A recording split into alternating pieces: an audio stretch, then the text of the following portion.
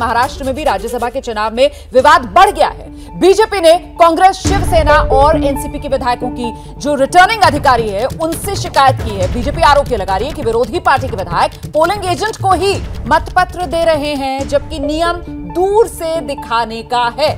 तो मामला महाराष्ट्र में भी विवादों में फंसता हुआ। सीधे आपको लिए चलते हैं हमारे साथ। हमारे सहयोगी रौनक कुकड़े इस वक्त मौजूद है। रौनक, महाराष्ट्र में भी वोटिंग वाले दिन विवाद पीछा नहीं छोड़ा है।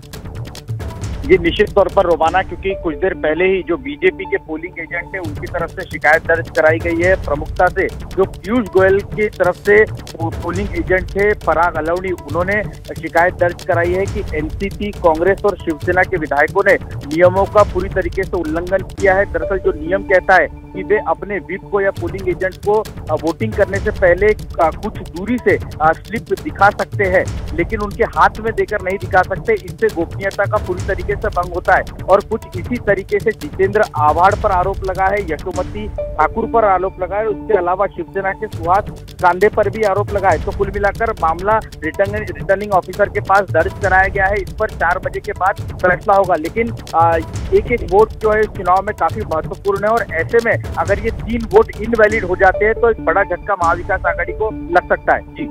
फ़िलहाल किस तरीके से खेमाबंदी होती हुई नज़र आ रही है?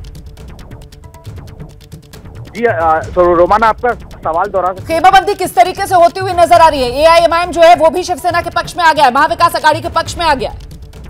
जी, निश्चित तौर पर एमआईएम की तरफ़ से आज सुबह ही जो उनके सांसद है इम्तियाज़ जलील, उनकी तरफ़ से ये ट्वीट कर कर साफ़ कर दिया गया था कि वे महाविकास आघाड़ी के पक्ष में जो है वो मतदान करने के लिए जा रहे कल आपको बता दें कि पहले एनसीपी के नेताओं के साथ एमआईएम के नेताओं की बैठक हुई थी और देर शाम को ट्राइडेंट होटल में शिवसेना के नेताओं के साथ भी उनकी बैठक होने की जानकारी सामने निकल कर आई। तो साफ़ तौर पर ये कहा जा सकता है कि जो लगातार एक दूसरे पर आरोप प्रत्यारोप लगाते थे खास तौर से एमआईएम लगातार शिवसेना का विरोध करते ही, और आज जब चुनाव और मतदान का मौका आया है तो खबर ये सामने निकल कर आ रही है कि वे शिवसेना के पक्ष में वोटिंग करने के लिए यहाँ पर पहुँचे हुए जी।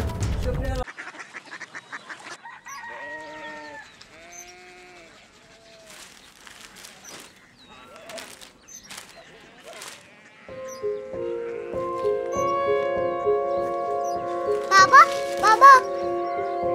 कोरिया सी सिटी जानी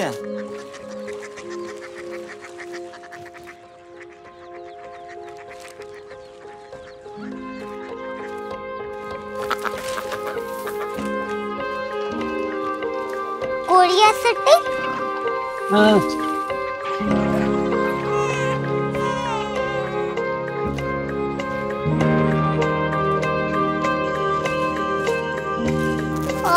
कोरिया सिटी कहाँ पे?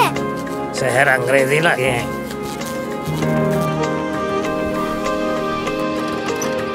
कोरिया सिटी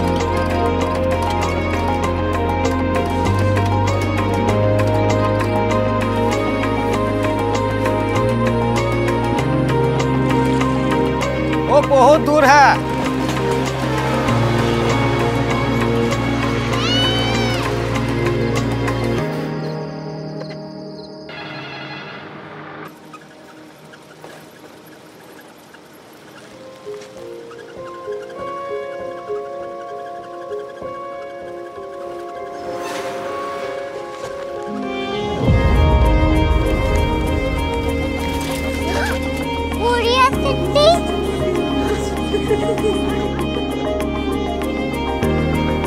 दुनिया हाँ, कुछ लोग बड़े होते हैं। कोरिया सिटी कहाँ है? प्रोफेसर साहब को पता होगा।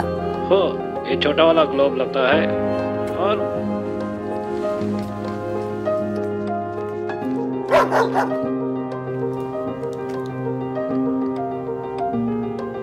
पता नहीं मेरी बेटी से जाके मिल लो शायद उसे मालूम हो।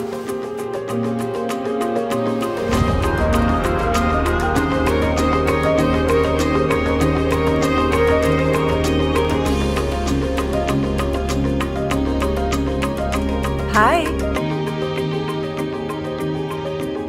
बाबा ने भेजा है। Come here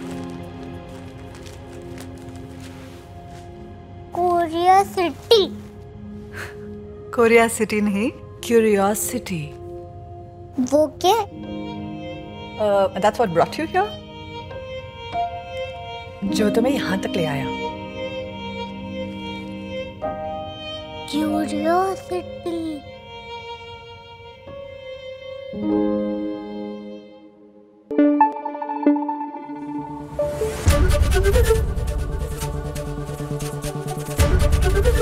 ABP news. आपको रखे आगे।